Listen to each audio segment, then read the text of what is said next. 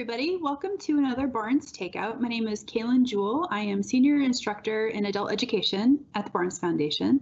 And today I wanted to spend some time with everybody in gallery number six, which you see on the screen here.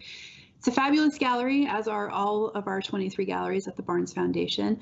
But this one has an interesting network of paintings that are on display on the south wall, which is the wall we are looking at right now.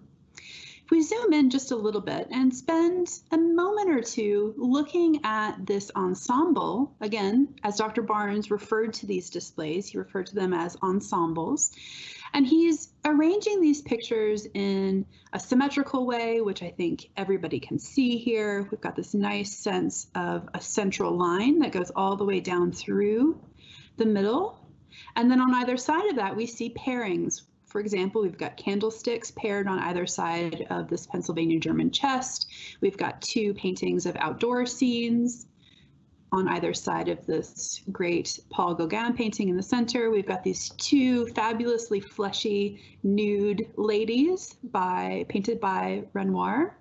And then we've got some smaller studies up above, in addition to all of the, the great metalwork that we have. But I want to spend some time looking at this picture here, which sits to the right of this great painting by Paul Gauguin.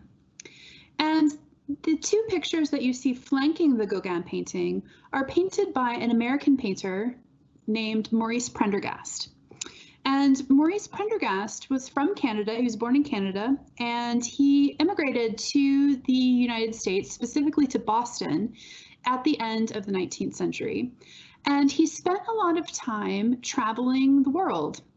He spent time in Italy, he spent time in France, and while he was there, he started to pick up sort of inspiration of artistic styles by different artists. Artists like Paul Gauguin, that we have in the center here, and also artists like Georges Seurat, that we have represented here and here. So let's take a closer look at this painting here by Maurice Prendergast. So here is the picture. It was painted in 1914, 1915. It's oil on canvas.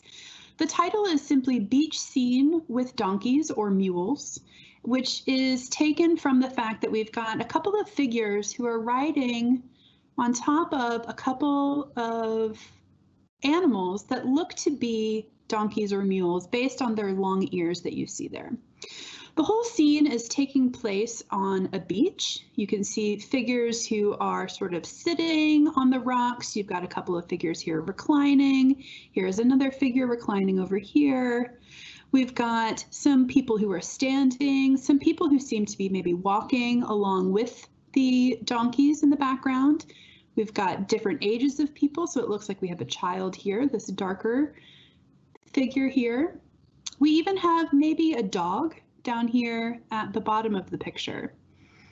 All of this seems to be kind of a visual screen that is set before a watery landscape in the background, which you can see is rendered in shades of blue and green that kind of pop between the, the uh, standing figures and even these donkeys. In the extreme distance, you can sort of see what appears to be a couple of sailboats, and there appears to be another boat over here as well on the left side of the picture. The sky is framed by these two great trees. So here we can see just the barest hint of the, the top of the tree trunk here that reaches into the sky. And then on the other side, we don't see the tree trunk, but we see its branches sort of reaching into the picture plane.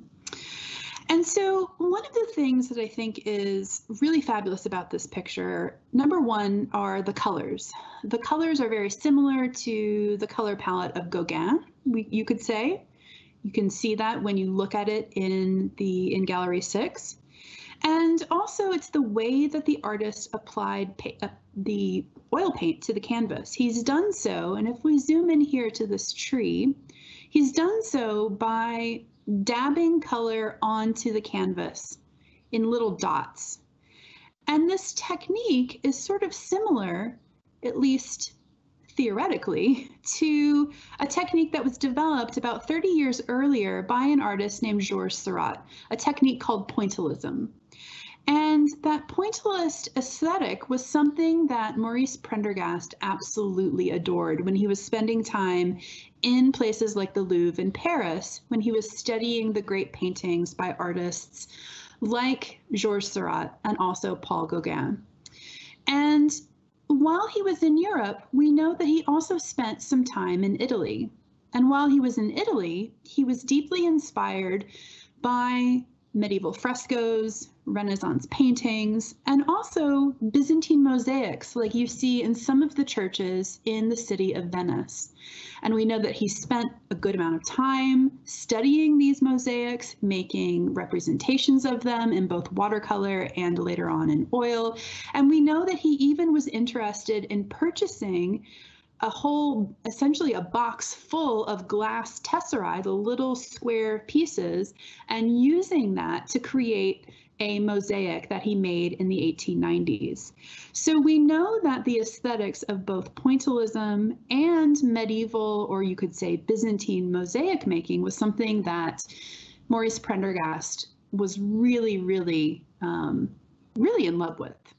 Let's go back to the main ensemble and think about it in connection to that little Seurat picture that you have here. So if we zoom in, you can see that Seurat has represented a couple of sailboats on the sea and he's dabbed paint onto the canvas in this quick little oil study that he has done. It's not visually too unlike what we have happening down here in the Prendergast picture. In every one of the galleries at the Barnes Foundation, there are at least two works of art by American artists. And we know that Dr. Barnes was very interested in having the foundation be a source of inspiration for American artists. And it's no surprise that he has nearly or over 20 pictures by the artist Maurice Prendergast. He was friends with Dr. Barnes was friends with Maurice Prendergast, and Maurice Prendergast was also friends with Dr. Barnes's great pal William Glackens. So it's sort of an interesting collection of people who um, kind of show up when you start to look at these ensembles a little bit more carefully. So when you come back to the Barnes Foundation, go into Gallery 6 and spend some time with these great, colorful, and almost shimmering paintings by Maurice Prendergast. They're really, really fabulous, I think. Thank you for joining me for the takeout today and join us for another one tomorrow. And feel free to leave comments down below. We love hearing from you guys. Thank you. Take care. I'm Thom Collins, Neubauer Family Executive Director of the Barnes Foundation. I hope you enjoyed Barnes Takeout. Subscribe and make sure your post notifications are on to get daily servings of art. Thanks for watching and for your support of the Barnes Foundation.